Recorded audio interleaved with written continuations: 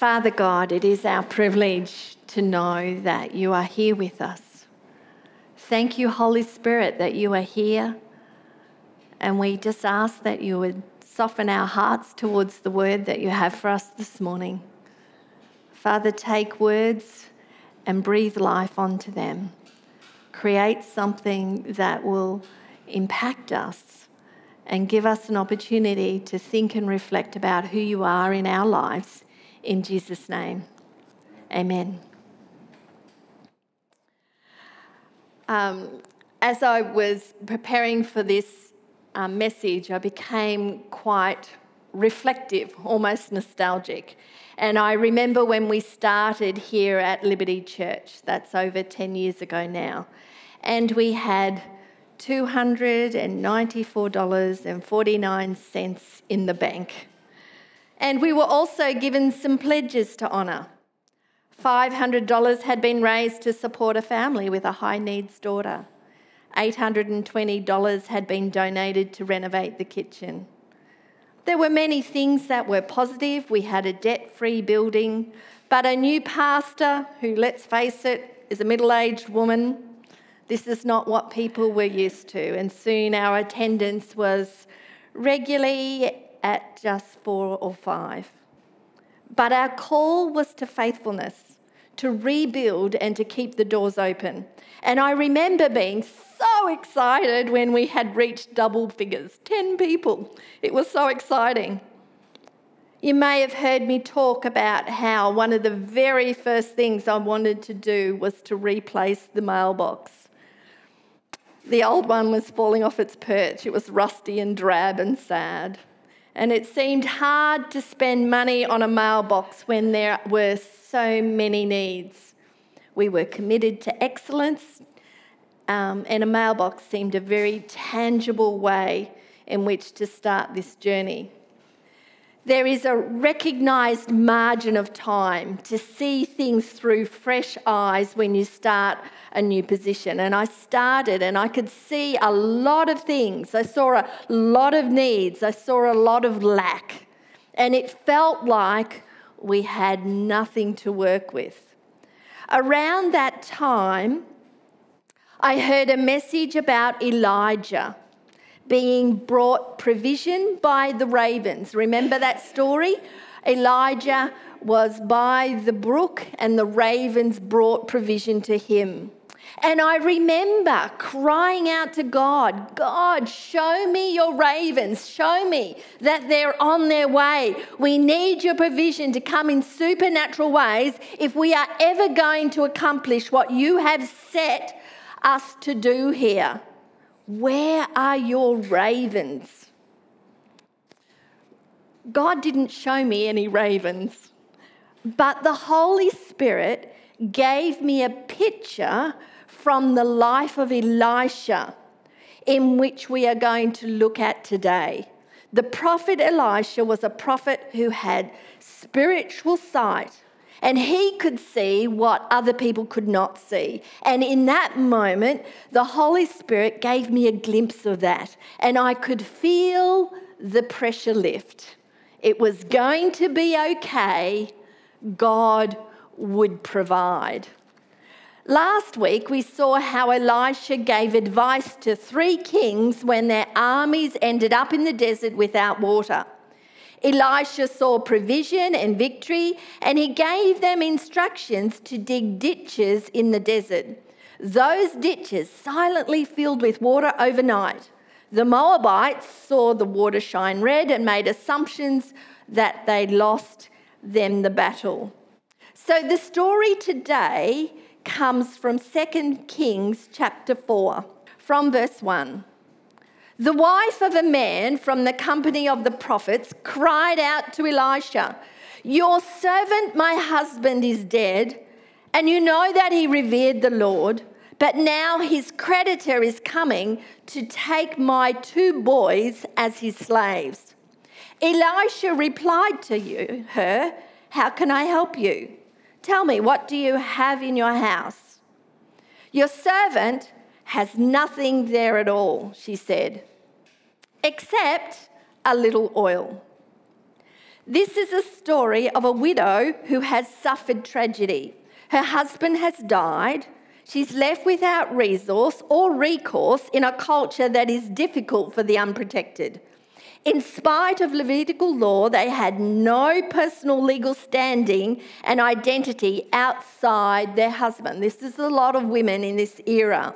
Widows could go and live with their father's house again, but there is no mention of parents here. She is alone. Her husband was a godly man, part of the company of prophets, yet for whatever reason, he died leaving a lot of debt. A lot of debt. We are not given why the debt is there, whether it was from some reasonable explanation from, say, medical bills, or something that we might judge as unreasonable, like gambling debts. This tells me that the why is not so important. What is important is that in this situation, this woman feels abandoned in this problem. And this problem is time sensitive. She is on a deadline. Now, the debt collectors were of the opinion that without a working member of the family, the only way they would get their money back was to claim her young sons as slaves to repay what it was owing. This is what the law of Moses has to say about slavery as a way of dealing with debt. And we find that in Leviticus 25. From verse 39, it says, If one of your countrymen becomes poor among you and sells himself to you, do not make him work as a slave. He is to be treated as a hired worker or a temporary resident among you. He is to work for you until the year of Jubilee. Then he and his children are to be released, and he will go back to his own clan and to the property of his forefathers. Because the Israelites are my servants, whom I brought out of Egypt, they must not be sold as slaves. Do not rule over them ruthlessly, but fear your God. God created us to live free lives. Slavery in any form is not part of the plan. God invested greatly so we could live free lives. So he does not take lightly to those things that would bring us under bondage again. Here in Israel, these creditors are not operating under the supreme law that is just. They do not know or revere the covenant of Moses. They are operating on their own cultural marketplace sort of law. In Israel at this time, this is what was done to redeem debts.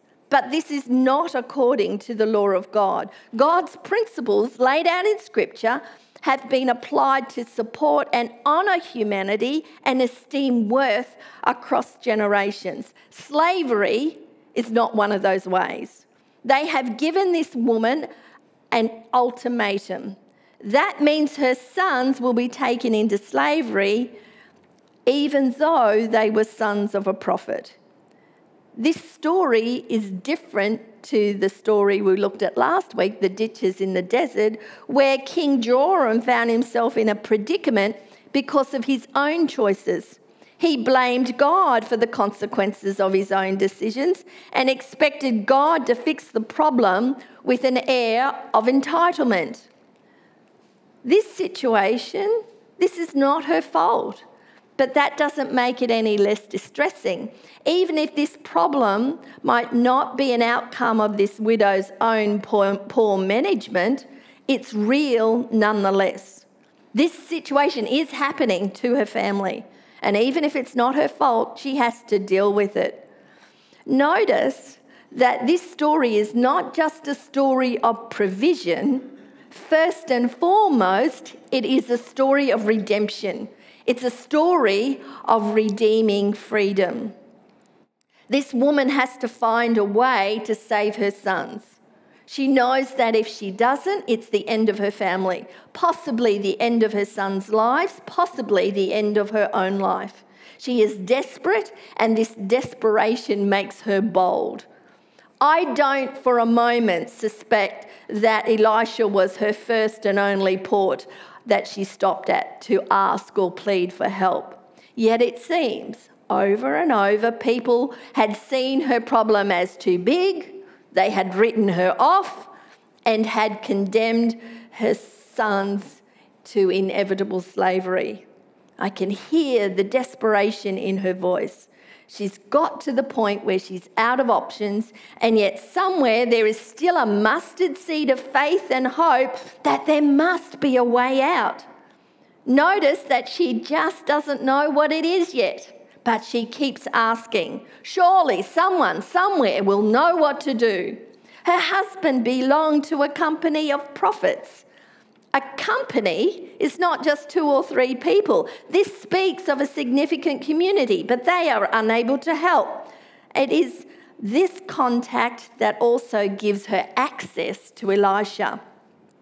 Perhaps she had heard of the story of the ditches in the desert.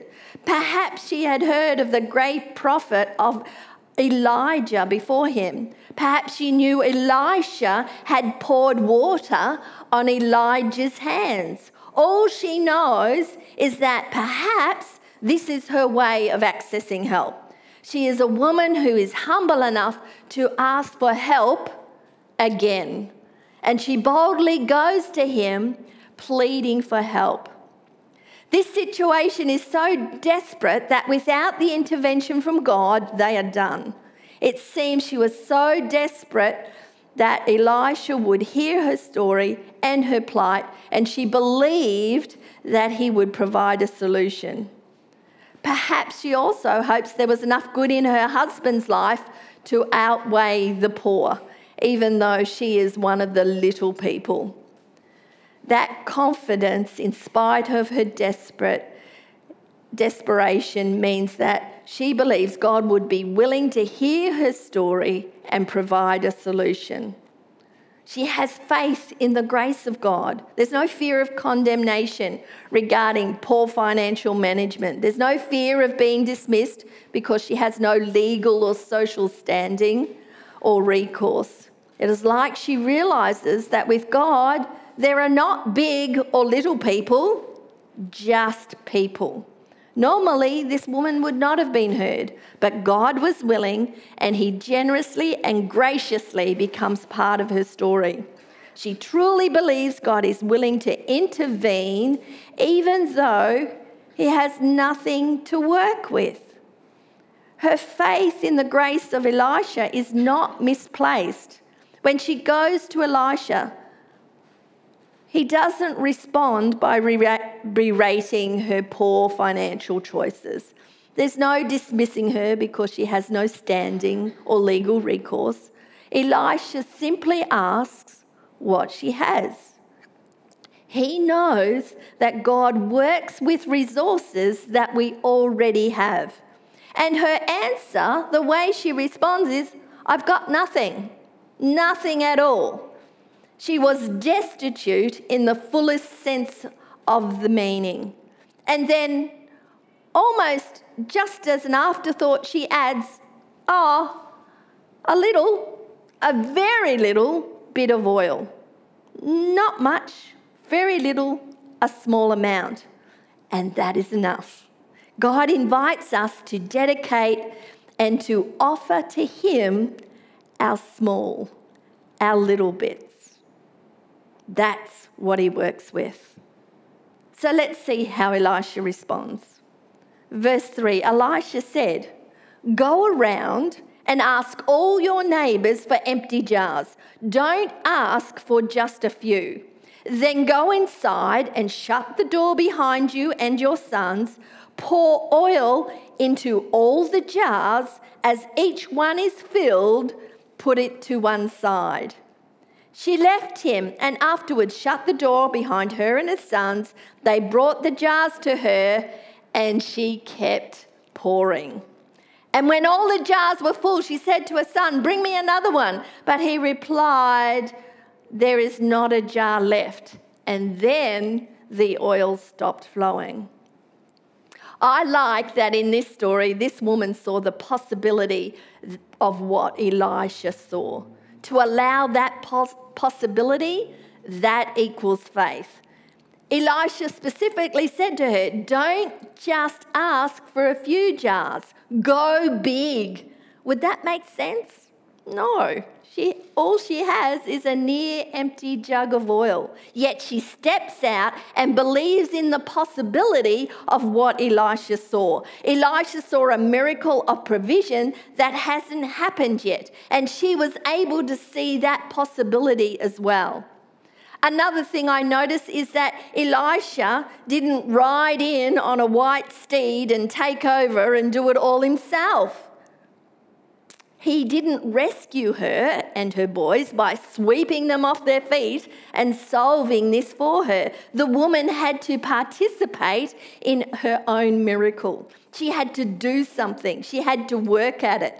And she was willing. Once she knew what to do, she got in and she did it without hesitation. Many of the miracles of Elisha come with the theme of how God invites his people to participate in their own miracles. King's Joram army had as much water according to the number of ditches that they dug. They had to dig the ditches. Elisha didn't go and do that for them.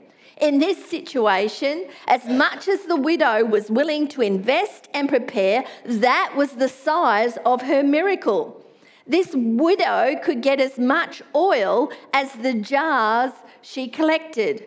This woman had to act. She had to go out and get the jars. She had to ask. She had to go to the neighbours and knock on the door. She had to humbly ask again for help, a specific request. Can I borrow your jars, your jugs, and your saucepans? And then she had to pour. What she already had was multiplied. What she thought was a sign of nothing became her sign of God's generosity. Sometimes God will start with nothing and speak a word of creation. In the beginning, God created. But more often, God uses the small that we already have available, and then He blesses and multiplies and invigorates that offering to become something more. Think of the loaves and the fishes. Jesus took a child's lunch and fed a crowd of thousands twice he turned water into wine. He saved a wedding's host from embarrassment and provided excellent wine from large, pit, large pitchers of ceremonial water. Sandals on the feet of the Israelites. Those who were nomads in the desert found that their sandals did not wear out even after a generation of traveling from place to place through the desert. A small bowl of meal flour a small quantity of flour fed Elijah and a Gentile widow and her son during a three and a half year famine.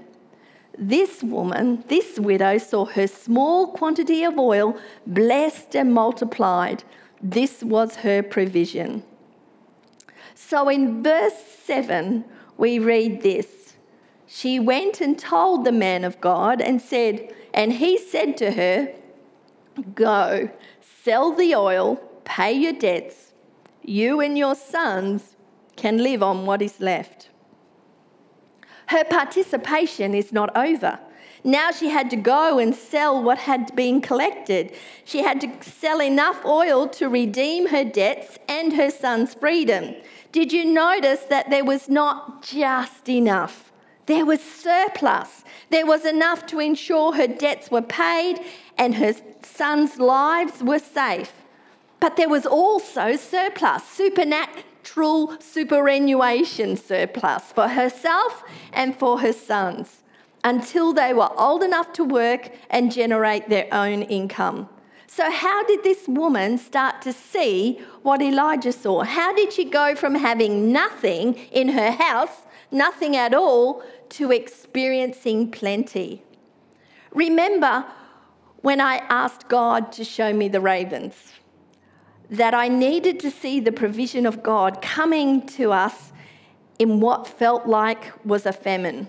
I seriously could not see how we could do what God has asked us to do and what He'd called us to do without any resources.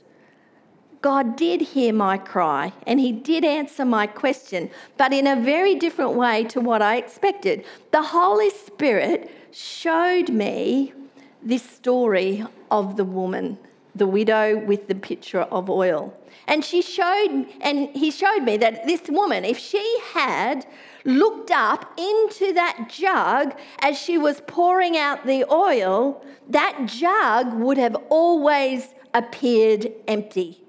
It would not have seemed like there was ever enough. It would not have appeared to be even remotely sufficient. It would have always looked like it was about to run out. She would have not seen plenty, she would have only seen lack. How easy it would have been to be skeptical that the oil could go the distance. Yet by faith, she did not analyze the contents of the jug. She just never stopped pouring. She kept filling the next vessel, the next jar, the next pitcher, the next bottle, the next bowl, whatever she had on hand. And as she did that, not by looking into the jug, but just by pouring out in faith, keep pouring out in faith, staying focused on the task at hand because God had promised provision. Can you imagine how amazing it would have been for this woman as her sons raised their eyes from their task when that last jar had been filled and they would have looked up and gazed back over their little house to see what was stacked on the kitchen bench and what was stacked in the living room and on the bedrooms, all the jars and the vessels and the pitchers and the bottles that were filled with oil from that little apparently empty jug. It was in that moment that they could see the miraculous, generous, impossible provision of plenty. When we look back, we can see the provision of God loaves and fishes, 12 baskets leftovers collected, water into wine. It was the most excellent wine served at the close of a wedding. Manna in the desert, feeding an emerging nation as they travel through the wilderness. Sandals on the feet of thousands of Israelites for over 40 years of travel, and not one worn sole or broken strap. A small bowl of meal flour fed a family of three for the duration of a three and a half year famine. Looking back, we can see the generous, impossible provision of God. That's a wonderful story, such an encouragement, such a reminder for us to not necessarily analyze the contents of the jug, but just to keep pouring out. So let's take a moment and pause and reflect on this story of Elisha as he connected with this widow, saving her sons from slavery. What are the slave drivers that are knocking on my door? Where do I go when I feel impossibly stuck? Am I willing to look at what I have rather than what I don't have? What small resources can I bring to God? Am I willing to keep pouring out in faith without being skeptical? What are the jars on my kitchen bench? Where do I see the generous, impossible provision of God? Am I listening to God's invitation to see my situation differently? How can I participate with God for my freedom and provision? That picture that God gave me back when I asked for ravens was of that woman holding her near empty jug of oil. It was that the jug was always nearly empty. The jug never filled up, but she kept pouring anyway. And in this, she filled a house full of jars to the brim. And I think it's a worthy exercise for us occasionally to pause and to look up and to look back over the kitchen benches and to actually acknowledge the provision of God. What are the jars that are sitting on our kitchen bench that declare the miraculous provision of God? What about those jars on the benches here at Liberty Church? When we look at the weekly budget, sometimes it can seem like the jug is nearly empty. But God was reassuring me that He is a God who uses what we have to resource us to do what He has called us to do. So, what does our kitchen bench look like in the 10 years we've been here? What are the jars that we've been able to fill? I made a bit of a list of the jars that have been filled as we steward the oil in our jug here at Liberty Church. This is a long way from that first item on the list, a mailbox. This is not a comprehensive list, but it gives us an idea. These are some of the jars on the kitchen table as we start pouring out responsibly and faithfully. A little jug started with not quite $300 in the bank. Some of these jars are small and don't look that impressive, but each one is another jar on the bench. Our kitchen renovation already had some money put towards that, so this was our first major project. So fitting because we love our church part two. Replacing the screws on the roof after a cyclone, that was a $3,000 bill paying solicitors to complete a legal restructure, that's a $7,000 bill. Replacing the carpet was also a $7,000 endeavour. Installing air cons, what a difference that's made. And in all of this, we've been able to save and still put money aside for our extension in a ministry room. And there's still more to do. God doesn't give a vision or a mission declare freedom over our lives. We're called Liberty Church. He doesn't do that without resourcing it. All of these jars are what I call extras. These are not operational costs of council rates or insurances or church dues, power and water and ministry. And yet, we've been keeping out pouring. Keep on pouring, knowing that our God is the God of provision because He is behind the oil in the jug. God has declared his intention and grace to resource his vision. And looking back, we have many, many jars on the kitchen bench. We have an invitation to partner with God and to participate in his provision. We can see the miraculous, generous, impossible provision of plenty. God will use what we have, even the small and the little bits. And he will use that to his glory to make it go much further than anyone ever thought was possible. And we can join with Elisha and the widow with her sons and look up with amazement at the number of jars of oil on our kitchen bench. In this story, Elisha is not consulted by three kings, but a widow a nobody, someone people were ignoring or who had already written off. She is destitute and desperate, and she seeks Elisha out because she has nowhere else to go, living with the consequences of a situation that was not her own making.